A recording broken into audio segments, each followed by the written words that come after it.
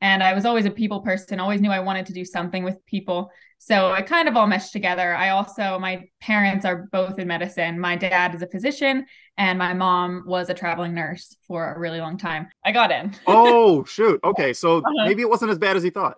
3.8 GPA, I don't know, 1500 PCE hours, 3000 by the time you matriculate. Excellent experience, double minor, neuroscience major. Dad's a doctor, mom's a nurse. Applied to 12 schools, by the way, not one, not two, 12. Only got five interview invites. And so now what? You got an interview. What do you do now? Um, freak out. After that. After that. Helping others is a calling. It's not a job. Hey guys, my name is Boris. I'm a physician assistant, and joining me today is.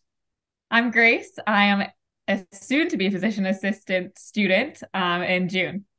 And we're going to tell you where she's going to be a physician assistant student shortly, because uh, part of this video is kind of a reveal where Grace decided to pursue her PA education, and it was a tough battle to figure out which one. Which, for a lot of you watching my channel who want to get into PA school, it's kind of a good problem to have, right? Having to decide between schools versus like just hoping and praying that I'm going to get in.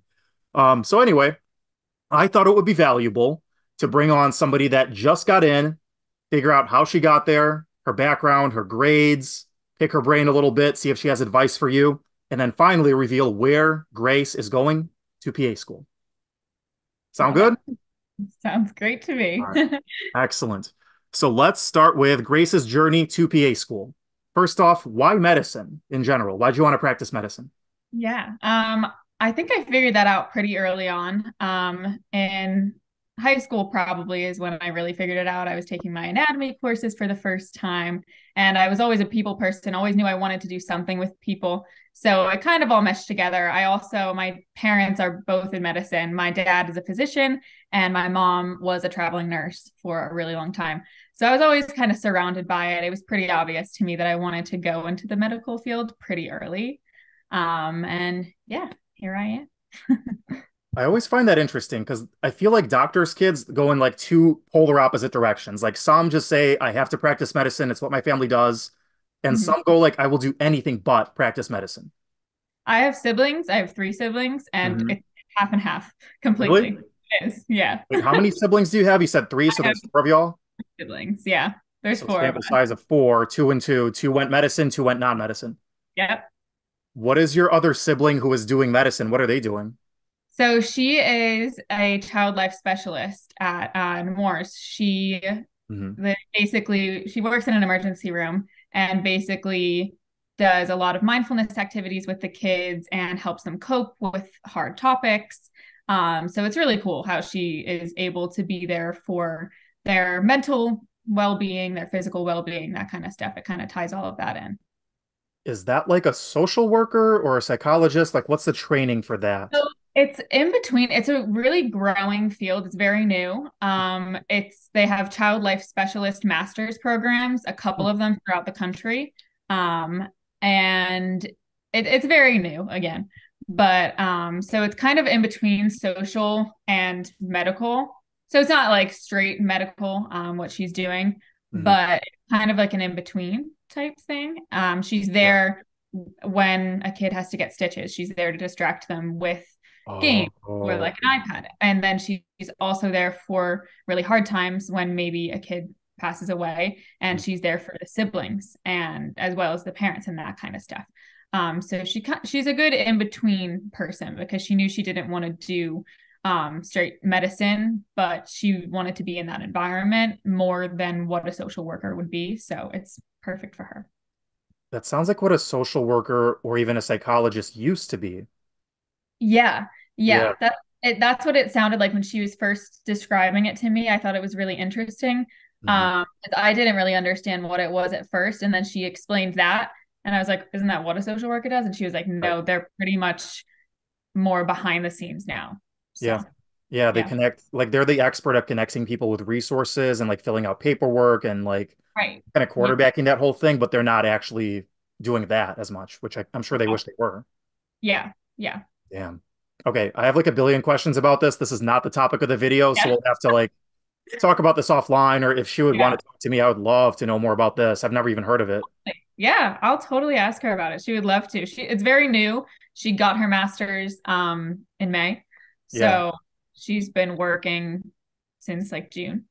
Um, so Okay. she's very good at it still, but Mhm. she loves what she does so far. So yeah, I'll I'll talk to her about it for sure.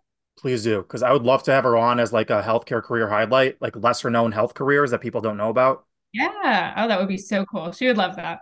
I would be so stoked because that, like, you can tell I'm like full of questions about this because I love Yeah. healthcare. Uh, Yeah. but like anything like that, it just sounds awesome. But Right. anyway, Right. guys, sorry for the tangent. We're gonna get back on to why you actually clicked on this video, but I'm very, very stoked about this. Uh, Yeah. very interested in stuff like that. But anyway, okay, so Grace's siblings, half and half, half went medicine, PA, child life specialist. The other Mm-hmm. two, what are they like rock musicians or like bricklayers or something? No. So my brother, he um went into oh gosh, environmental economics. I Okay. don't have a good answer for exactly what he does. Um, and then my little sister is in college. She's still figuring everything out, um, but Mhm. doesn't want to do anything with medicine exactly. Um, she's thinking speech pathology. So I guess it is kind of medicine. So maybe it's not so half and half, but Nope. 25, 75. Yeah, That's all- 25 literally, you guys are all going to work at the same ER together. Uh, no. Oh, okay. So basically, it's a family affair. Dad's a doc, mom's a nurse. That's why you wanted to go in. But like specifically, like logically, okay, like I've been around it my whole life. I get it. What was that one moment where you were like, this is what I want to do? I think it was probably anatomy. I think in high school that was introduced at my school either sophomore or junior year. Um, and I mean, you've always learned about like the basic anatomy and that kind of stuff, but it was the first time we were really getting in depth into the systems. And I Mm. was like, I've been waiting for a subject like this to make me want to learn more since I started going to school in kindergarten or Hmm. preschool. And um, it was just it like clicked for sure. I was like, all right, this is what I'm interested in. This is challenging, but I need it to be challenging because I want to know more. Hmm. Um, so it was definitely starting to take those kinds of classes. Um, and then further, like then I was so interested in everything that we were learning that I was looking things up outside of school. And so it was it was obvious that it was medicine Yeah. for me. Would you say it just kind of clicked?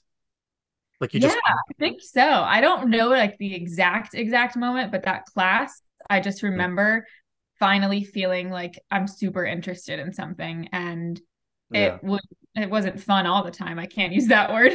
no, but it's, it was it, no, and but it was something that I wanted to do more Mhm. instead of like my math classes where I was just going through them or something like that. So That makes sense. Because I'm sure, like growing up from like day one, mom and dad were talking about medicine. They were probably Yeah. using anatomical terms and they were joking about it. And you were like, now I finally get to learn this stuff.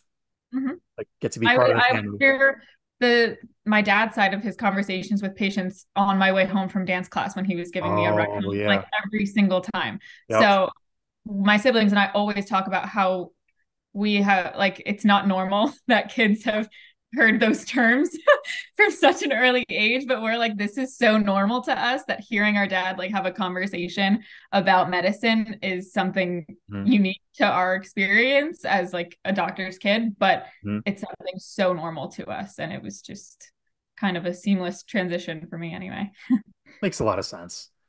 Maybe like for you, I can see it as just kind of being like part of your nature, part of your upbringing, and it just kind of clicked. Yeah. For like me, who obviously did not grow up with medical parents, I like had to experience something very, very, I would say like impactful, like emotionally impactful to go like, that's what I want to do. I want to be that.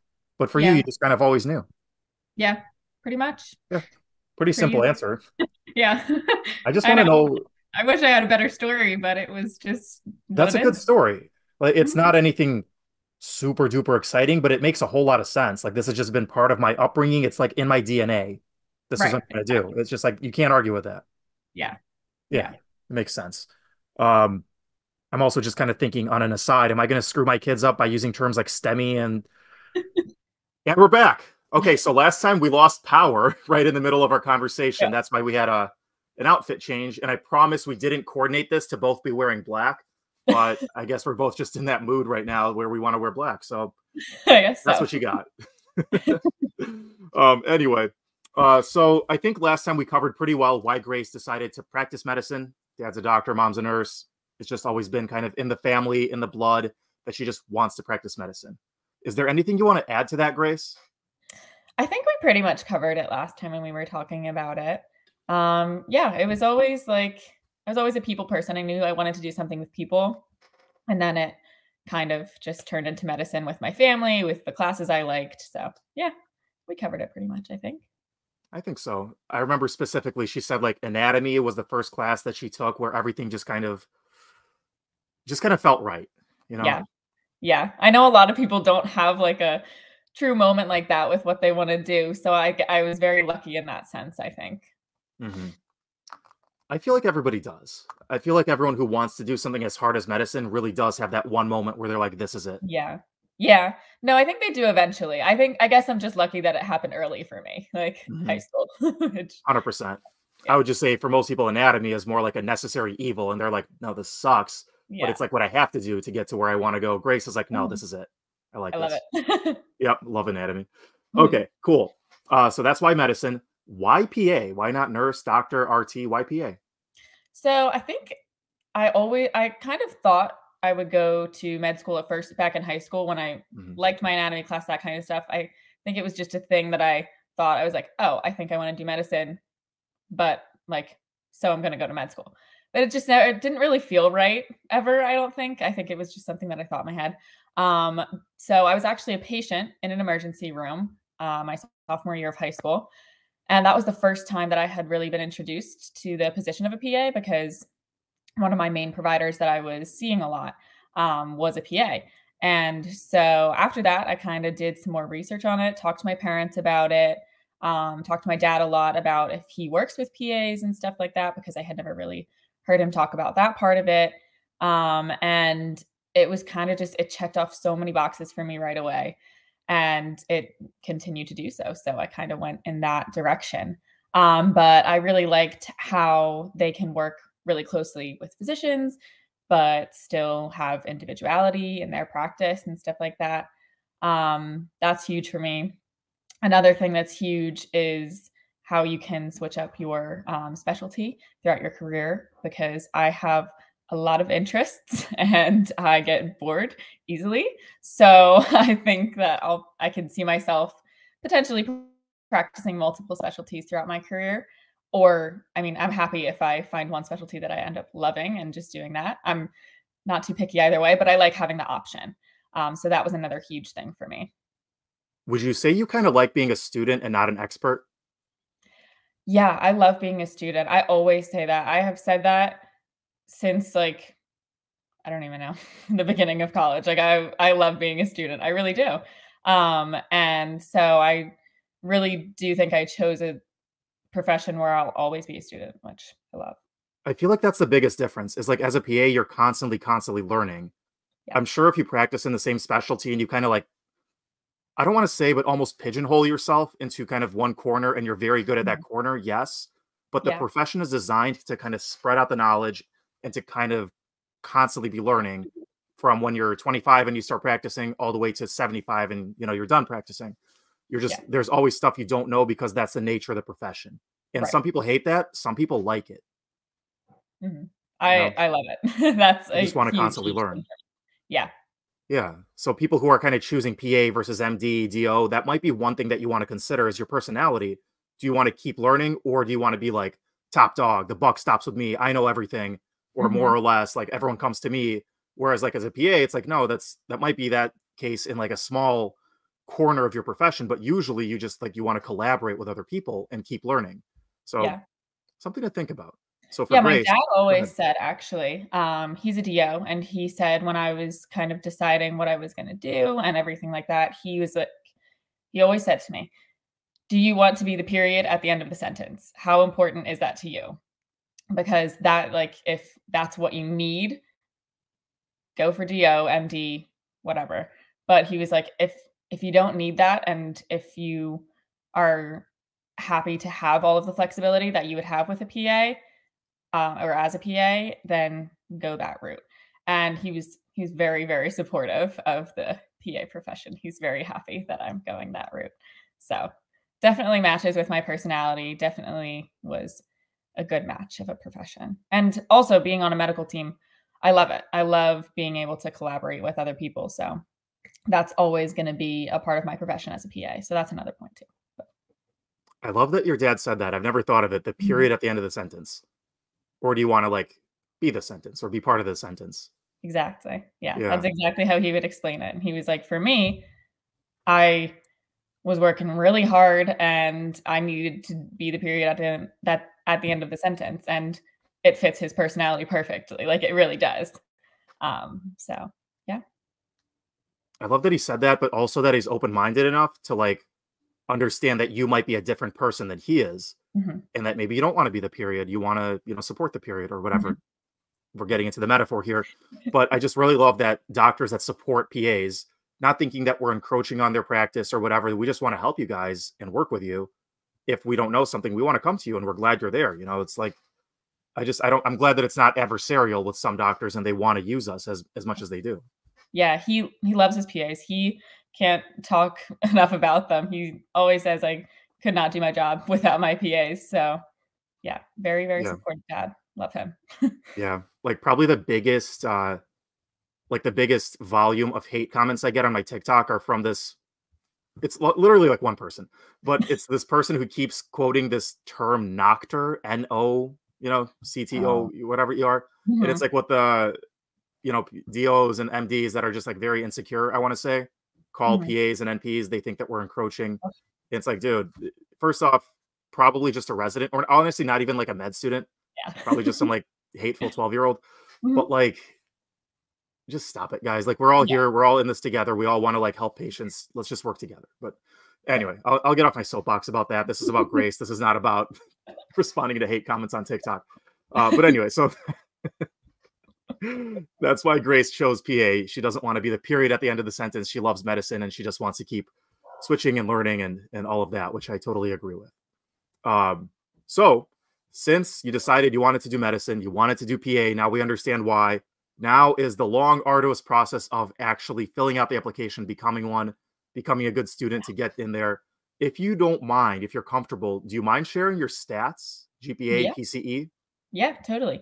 I, and I graduated with a 3.8 GPA. And uh, so my hours, by the time I submitted my application, I had a little under 1500 mm-hmm. and I am currently on a gap year. Um, so I calculated all of that out to see how many I would have towards the end. And I will have a little over for this year. I'll have a little over 1500. So total, I'll have 3000 PCE hours.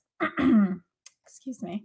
Um, at the time of matriculation. So at time of matriculation, 3000 ish. At time of application, 1500 ish. Yes. And 3.8 GPA. What was your major? I majored in neuroscience and double mm-hmm. minored in biology and psychology. Wow. That's a lot of work. Yeah. it was a lot of work, but it was fun. yeah, it was fun. She's like wiping the sweat off her face. Like, oh, it was so much fun. The most fun I never want to have again. Yeah. Um, although you'll you'll have just as much fun, if not more, in PA school. But yeah, so more on that later. it's worth it. I promise. It's yeah. really worth it at the end. Uh, but yeah, so and I bet you with those majors and minors, I bet you got basically all your prereqs just like kind of baked into the cake. You didn't have to do anything extra. Totally, totally. So that's smart who uh who advised you to do it that way and set it up smartly like that? Um, I guess I don't even my freshman year advisor and then it switches it switched at my school um, but i had an advisor who was a neuroscience um, professor at our school neuroscience psychology professor and yeah no he was like very chill about it he was like you're on the right track you chose a good major if you want to go to pa school i was like okay. and it kind of just worked out. but at my school, they made it very easy to um, fit that kind of stuff in. So I was lucky. Gotcha. Did your family, like mom, dad, or did they like set you up with a PA or something to kind of push you in the right direction initially, or you just kind of figured it out um, yourself? I think it was mostly kind of figured it out myself. I I'm very much like I'm going to do all my research. I'm going to know everything about everything that I need to get done. Just I'm a planner. That's what I that's just how I am. Um so I think I was looking into my like senior year schedule. Um I was looking in that far in like freshman year. I was like figuring everything out. that's just me. um, but yeah. In high school or in college? Um, no, in college. Okay. But That's a little bit more normal. Had a list of all of the classes I was going to take each semester, and had a momentary freak out sophomore year that I was never going to get it done. So I signed up for a bunch of extra classes. It was, yeah, I stressed myself out a lot more than I than I needed to in the end. But Well, I mean, what you just demonstrated is you have the personality that literally everybody who's a provider has. PA, MD, NP, same personality. yeah, Yep. Yeah. Anybody who makes it. Very, very type A, very, Mm-hmm. very like get it done, planner. Things don't go according to plan. That's fine. But like, just there always has to be a plan. We're always working towards it. totally. Never stop working. Type A. Yep. Uh, absolutely true. You, you basically just demonstrated you have the provider's like DNA. You know, that's just how it is. Um, what I was a little scared about is when you said you had your classes for senior year planned out freshman year. I was thinking high school. I oh was my thinking god, you're like this at 13. That's scary. no. No, no, 18, no. 19, that's a little okay. Yeah. Yeah, already as an adult. Um, yeah, no, a 13 year old doing that, I'd be looking at a psychologist. concerned. I'm joking. yeah, Concerned, possibly in a good way, but also like, I don't know. They're either going to be like Elon Musk or they're going to be like Jeffrey Dahmer. There's no in between. Yeah, there's no No. in between there. No, either good genius or well, never mind. We're not arguing about this. No. Okay, anyway, so that's Grace's stats. Um, so finally, you got all your classes planned out, you got your GPA, you got your PCE locked in, you know what you're doing. Mm-hmm. Then you got to tackle the beast that is CASPA. Whew, yeah. Overwhelming. it's like all these questions, all this crap to fill out. Yeah. Any tips or suggestions for someone who's just like looking at CASPA and going, "What do I do with this?" start early. If you Yeah. think you're starting early enough, start earlier. Uh, it's just there's because there's so many little things with CASPA that you don't realize until you're actually sitting down and doing it. Um, and for, well, for me, I started filling out applications on CASPA my junior year of college because I thought I wanted to go straight through. That was part of my plan. Um, so I had an interesting experience where by the time I was actually doing my applications, it was halfway done already. But anyway, um, start early. There's a lot of little things for sure. And honestly, it because it takes so long to research schools too. For me, I didn't know if I wanted to stay close to family or to go travel and be in a new place for two years at first. So I had no idea what schools I was going to apply to, but I found out pretty quickly that every school has different requirements.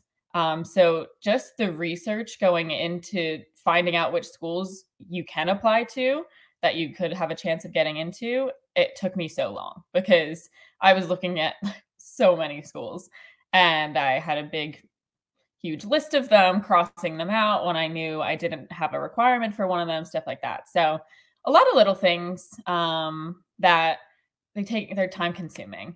So starting early is super important and then keeping yourself organized because for me i had so many schools in a revolving um, loop in my head because i was looking literally everywhere um, and so keeping myself organized was super super important excel sheets help a lot um, and i had a major excel sheet with like which schools require uh, like what how many hours they require if they require the gre all that kind of stuff. So highly suggest that because that kept me very organized throughout it and saved me a lot of stress, I think.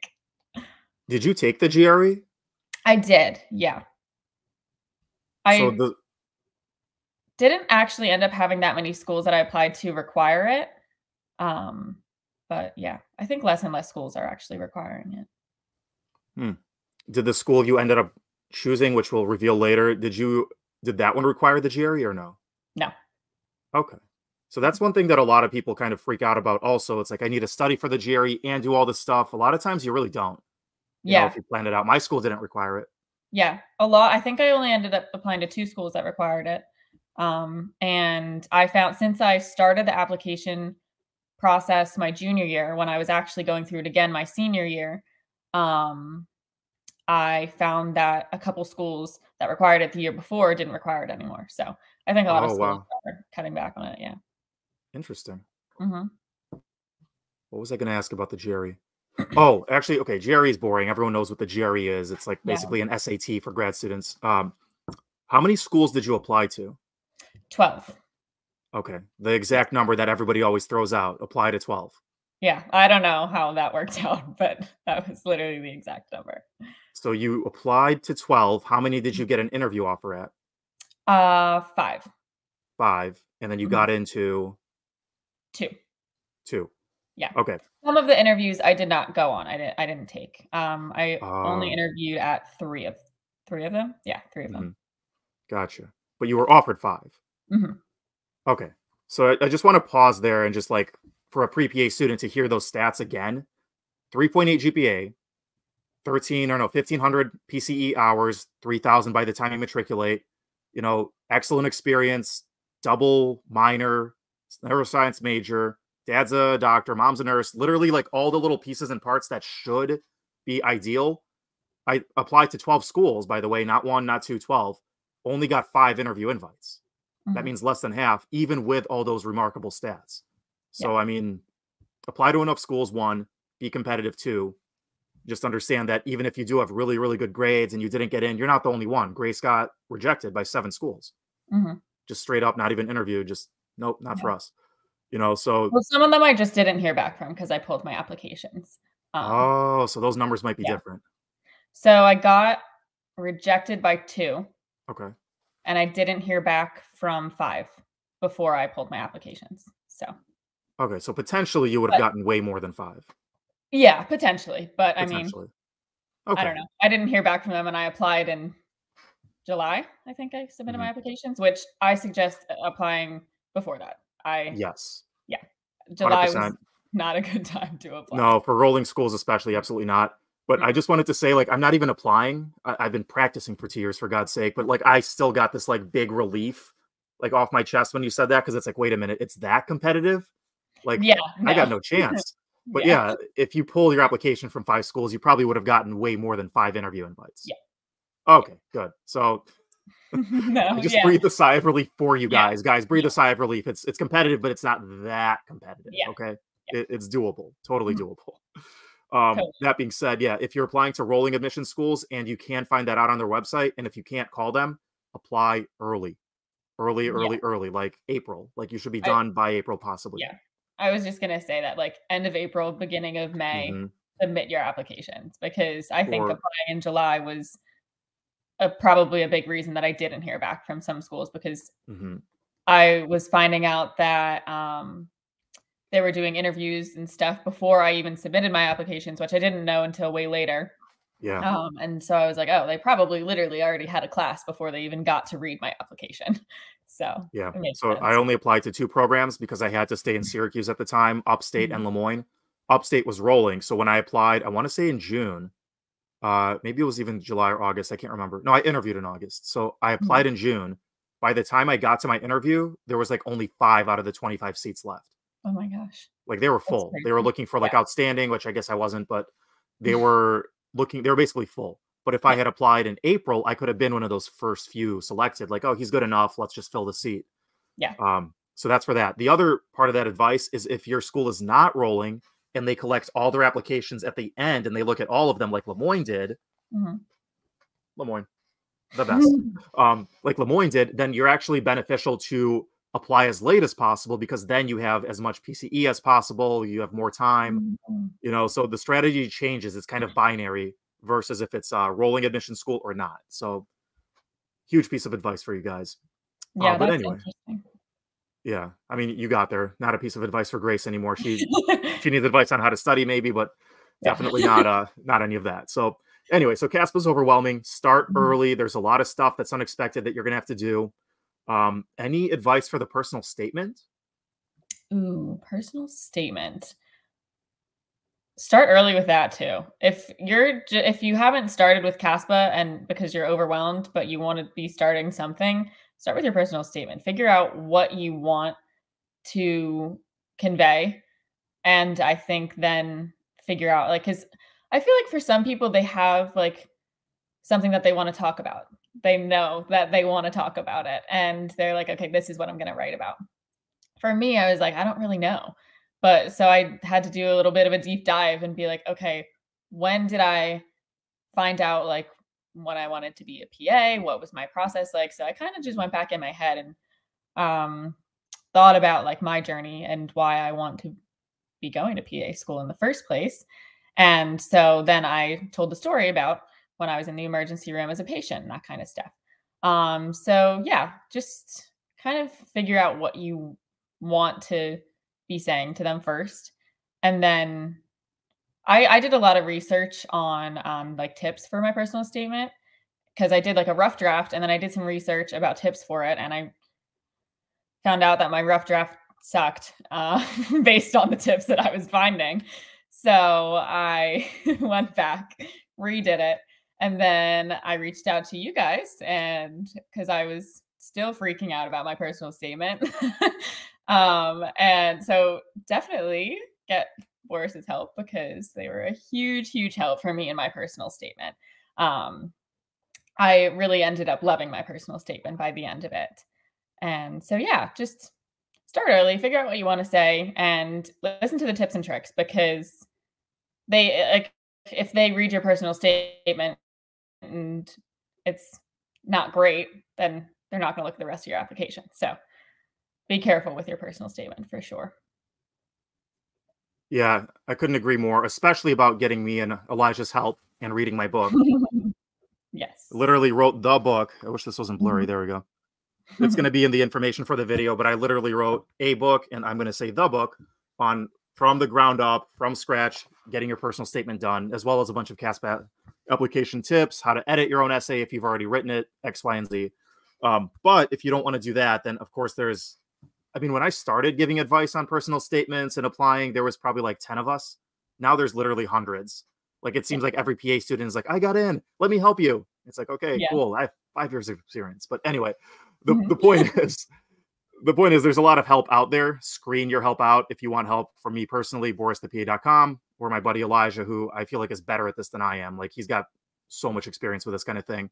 Mm-hmm. Um, but yeah, all of that get help, have a lot of people read it. Don't take their opinion as gospel, even if they have a lot of experience, even if they are a PA, a PA student.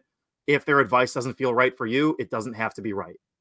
You know, there's it's not a math problem. There's no right answer. It's you, it's your personal statement, you personally communicating what's important to you.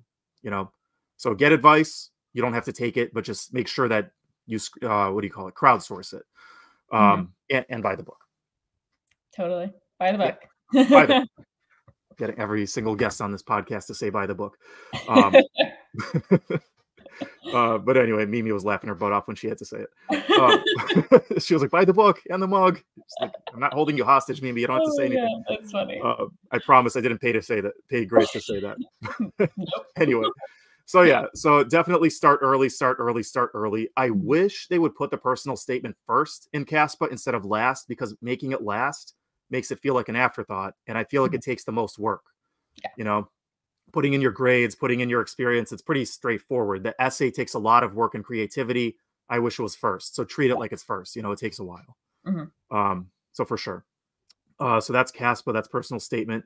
So Grace obviously wrote an excellent personal statement with some people's help, some people's mm-hmm. excellent help. Uh, and then she loved it. And then she got a bunch of interview invites. And so now what? You got an interview. What do you do now? Um, freak out. After that. After that, I just did a lot of research again about tips. I talked to you guys about it. We did the whole mock interview, which was really, really great help um, and experience. And a lot of interviews are going to be online, some are in person, that kind of stuff. Each school is doing it differently now. So prepare for both for sure.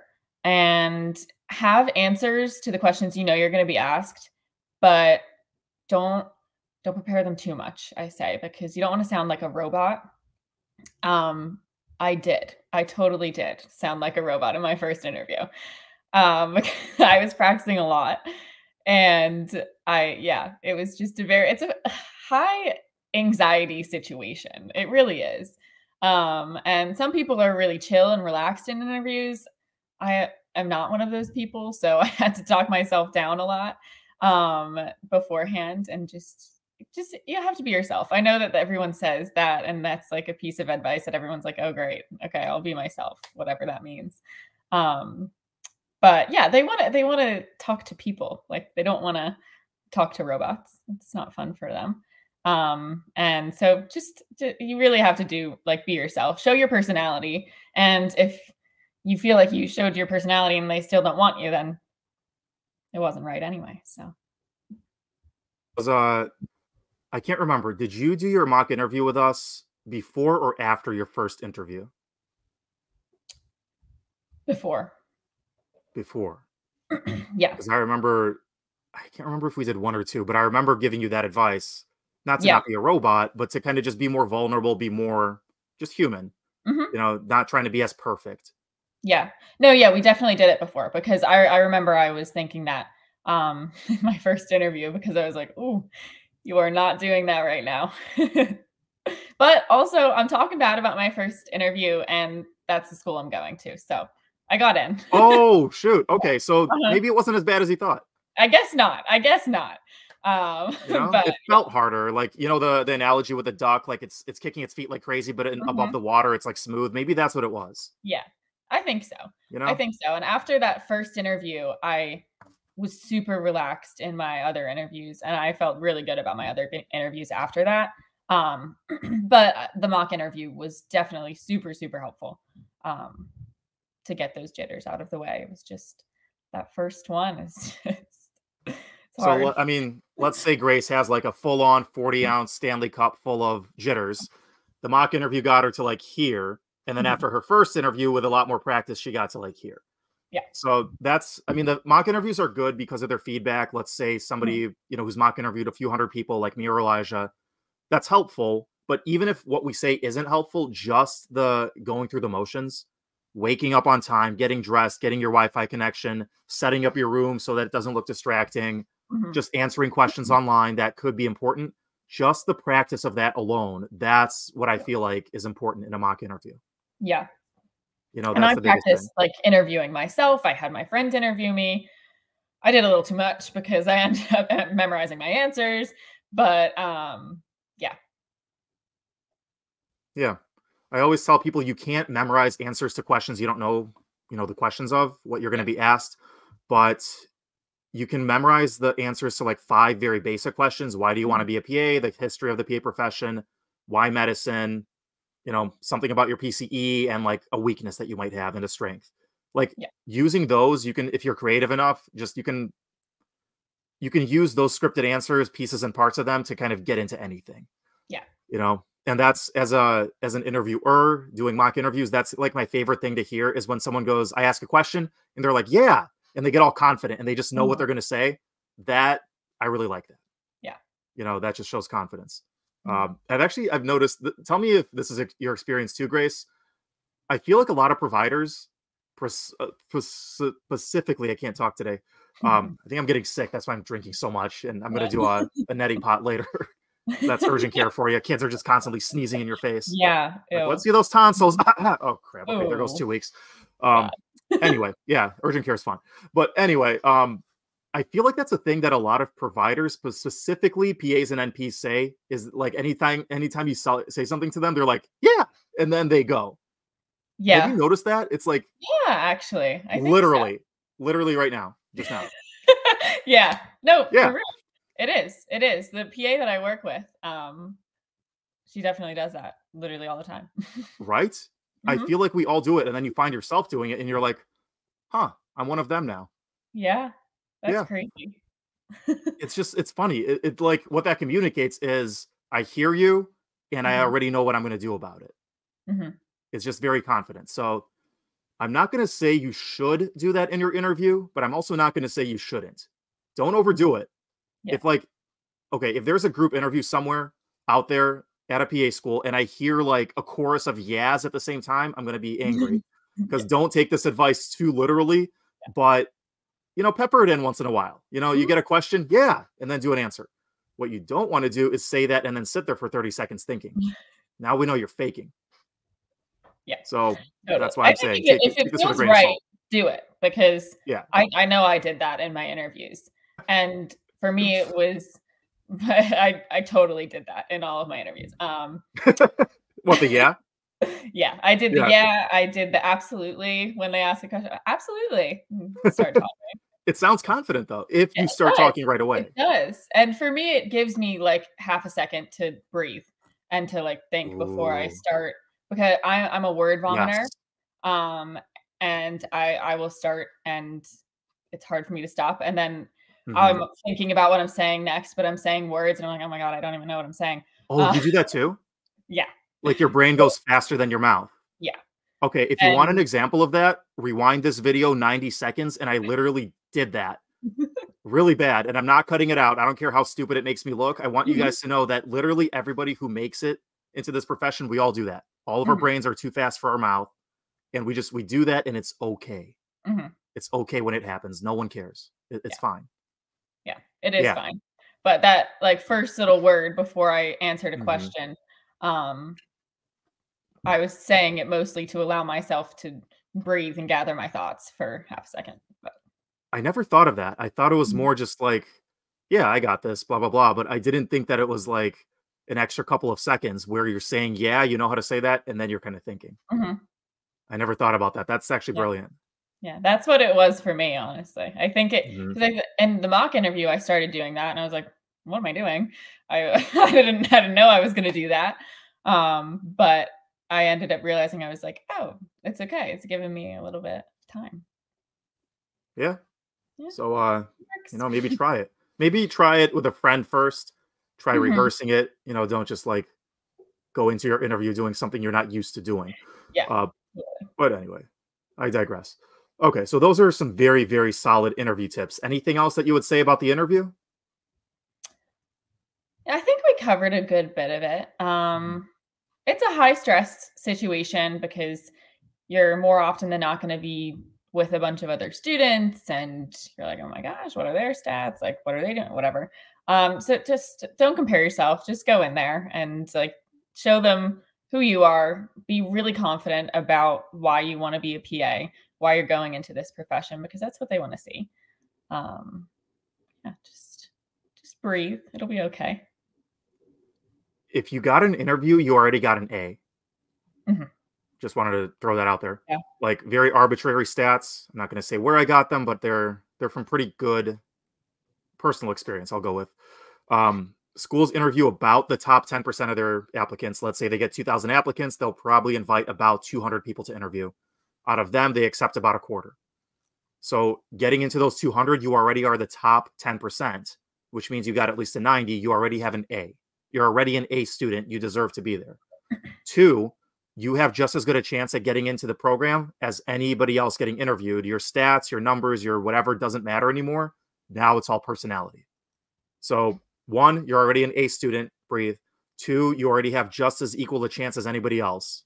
Breathe you know, it's all about the interview now. Don't worry about everybody else. So, yeah. and they might, I mean, they obviously want you enough to like talk to you. So, right. You're there for a reason. You. you're there for a reason. They think you're good enough. If your school thinks they're good enough, you're good enough. Okay. Mm-hmm. So you got to believe that too. Um, so yeah, very solid interview tips. Any just general advice for pre-PA applicants, or you think we covered it? Um, kind of with the interview. Then also, if you don't get it in from your interview, it doesn't mean you did a terrible interview, because you were just sharing the stats about how many people they are interviewing and they might be looking for very a very specific applicant that fits into their class. And so don't be super disheartened if you don't get in after an interview and think oh my god what did i do wrong?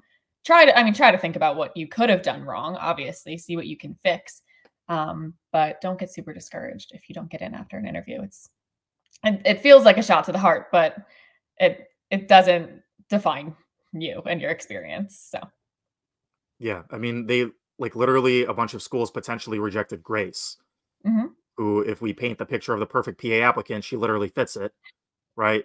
Excellent GPA, excellent PCE hours, blah, blah, blah, you know, very well spoken. And she got rejected, you know, but somebody who's nothing like her might have gotten in. It just depends on what that program wants, what that specific interviewer wanted. It's, it's just like there's so subjective you might be an excellent applicant. You're going to make a great PA. It's just, it was not your time or not your time at that particular school. So again, just breathe. If it's right, it'll happen. I promise.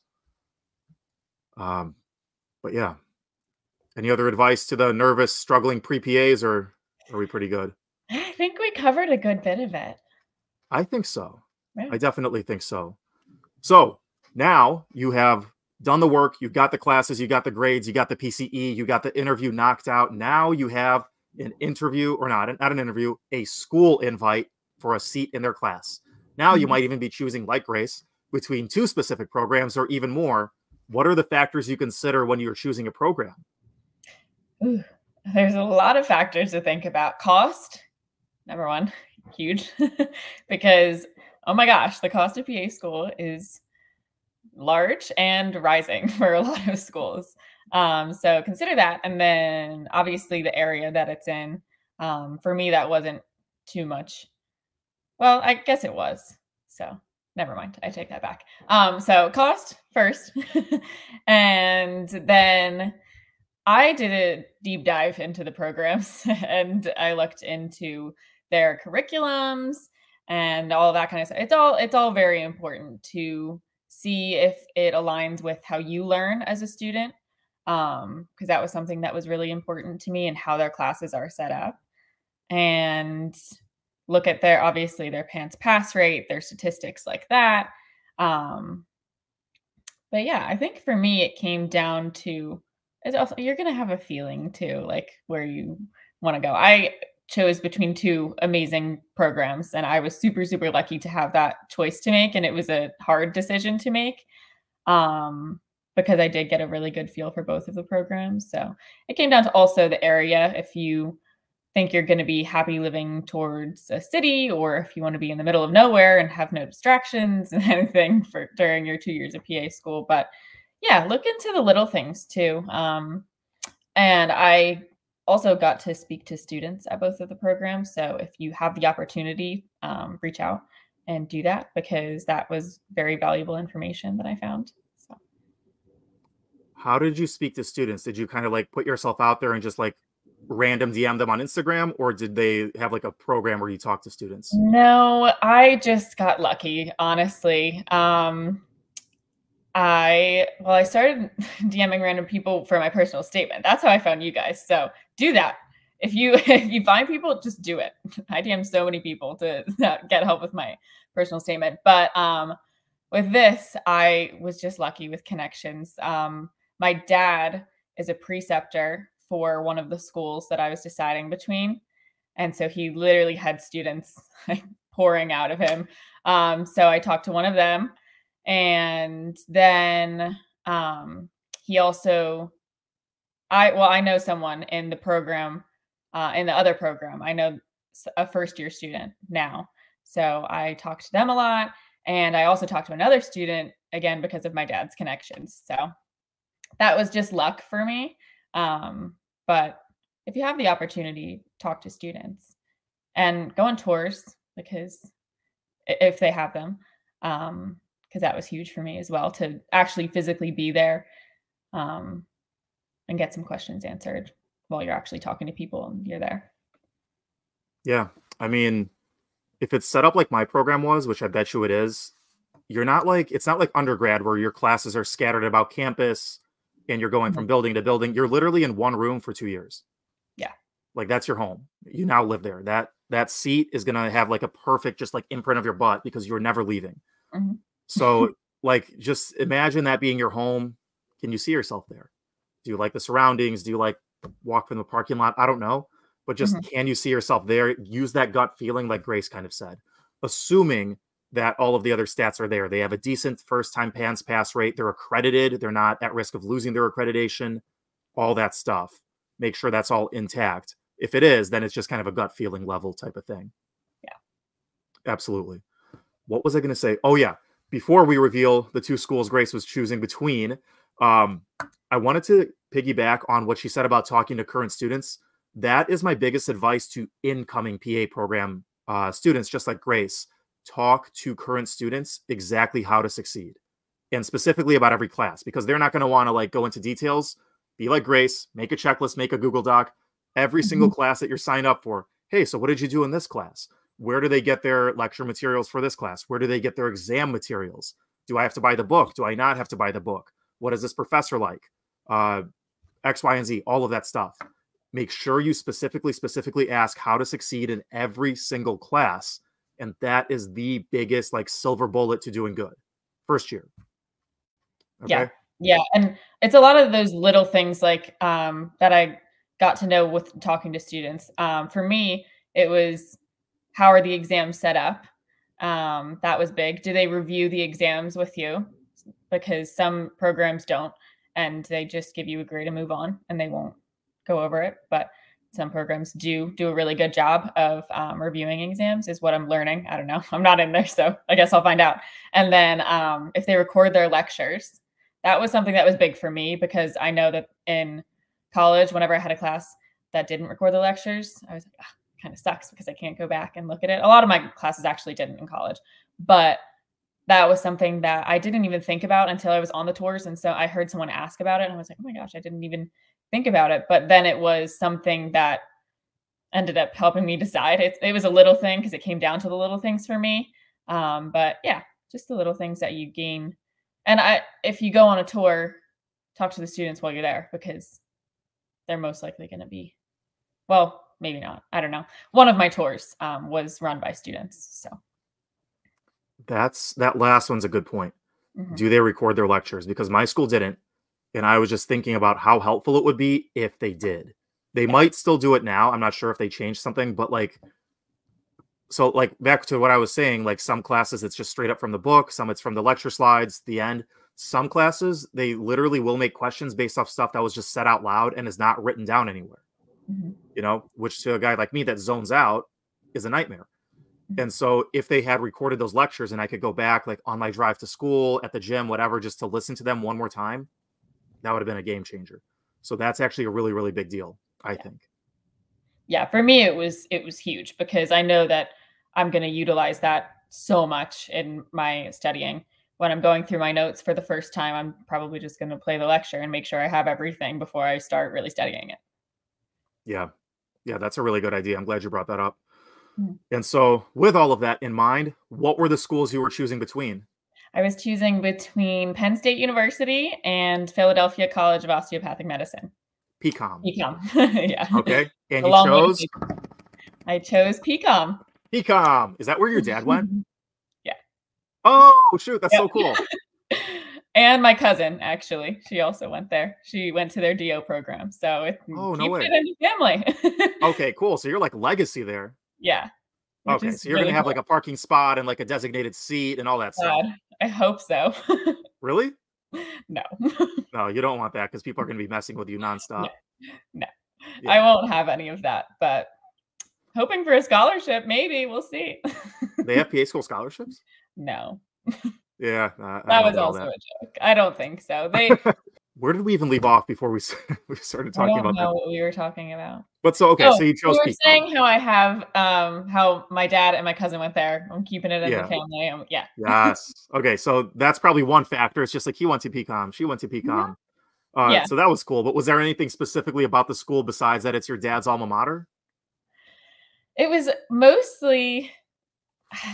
I don't even know. I it came down to it, I, again it was all the little things that it was just there were more pros on that side um, than penn state. And because i i had an excellent interview with penn state. That was really it was a really really good um, i had two interviews with them actually and both of them were great. Everyone i met was great.